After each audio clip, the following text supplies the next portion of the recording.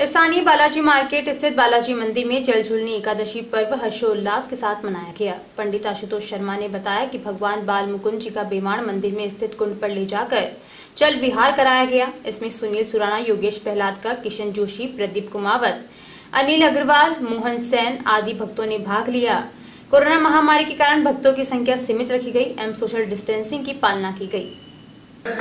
उमापति शिव शंकर की जय जय। उमापति शिव शंकर की गोविंद शरण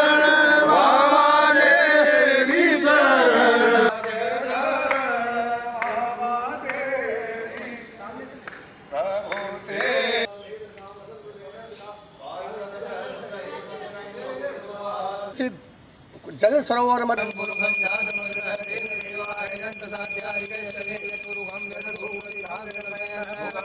आज जलजुल एकादशी महापर्व पर बालाजी मार्केट में बाल कृष्ण भगवान का जल विहार अत्यंत ही ठाट बाट से किया गया।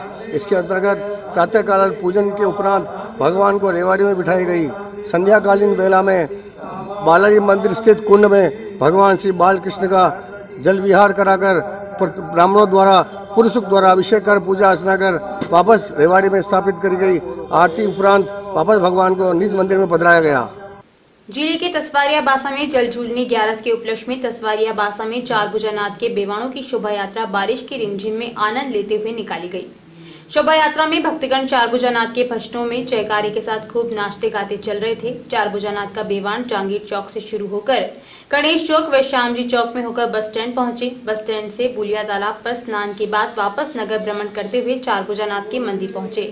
ग्रामीणों ने अपने अपने घर के बाहर चार भुजानाथ के बेवाणों की अगवानी कर चार भुजानाथ का आशीर्वाद लिया। महाआरती कर प्रसाद वितरित किया गया। इस मौके पर सभी ग्रामवासी मौजूद थे।